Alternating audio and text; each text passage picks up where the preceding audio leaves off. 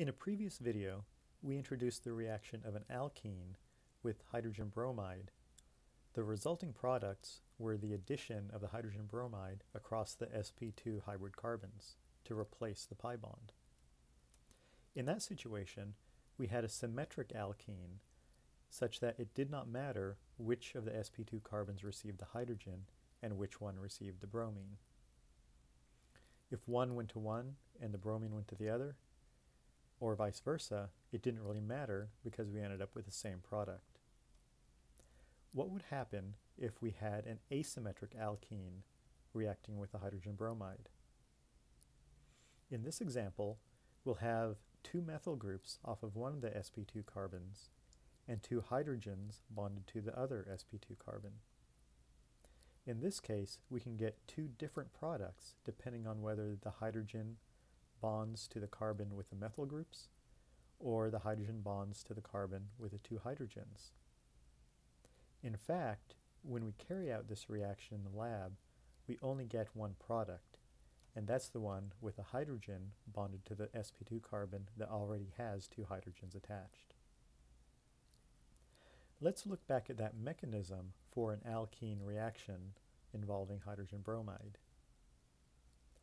As part of that reaction mechanism, we saw that a carbocation was formed. If we look at the two possible carbocations that could be formed with this asymmetric alkene, we'll see a difference. We can look at the carbocations and we can classify the carbocations the same way we classified alcohols. In this first carbocation, we see that the carbon with a positive charge is bonded to three other carbons. This is called a tertiary carbocation. The other carbocation has the carbon with two hydrogens and a positive charge attached to only one other carbon. This is a primary carbocation. In terms of stability, we learn that a tertiary carbocation is more stable than a secondary carbocation which is in turn more stable than a primary carbocation, and that in turn is more stable than a methyl carbocation. The reason for this stability is due to the carbon groups attached to the carbon carbocation being able to donate electron density to stabilize the positive charge. Because of this order of stability, reactions like this will favor one constitutional isomer over another. These types of reactions are called regioselective reactions. We also have a general rule we can apply when we have an addition across a double bond. That rule is known as Markovnikov's rule. This says that in an alkene addition reaction, the hydrogen ion adds to the sp2 carbon that has the most hydrogens already bonded to it.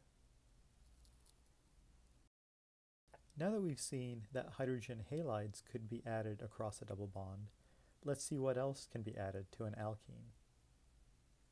We might want to add water across an alkene.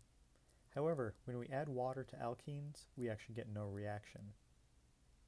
The reason for this is that water is not a strong enough electrophile we need something with a positive charge that would be a stronger electrophile.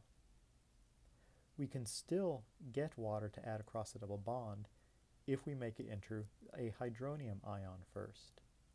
We can do this by adding a strong acid like sulfuric acid to water.